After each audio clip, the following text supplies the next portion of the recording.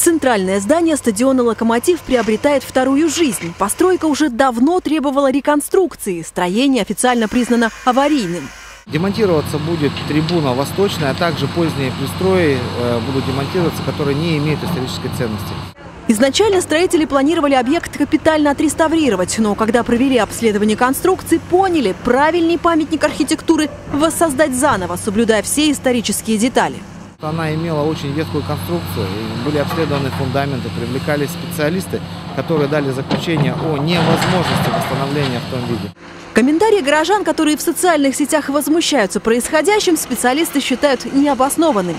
Ведь неизвестно, как бы сложилась судьба строения, если бы в него не вложил средства частный инвестор.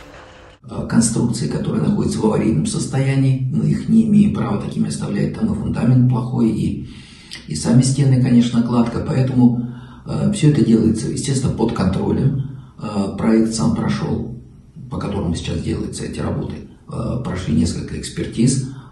Работы на одном из центральных фасадов проспекта Строителей завершат через полтора года. Ну а нам остается только наблюдать за новым рождением старого здания.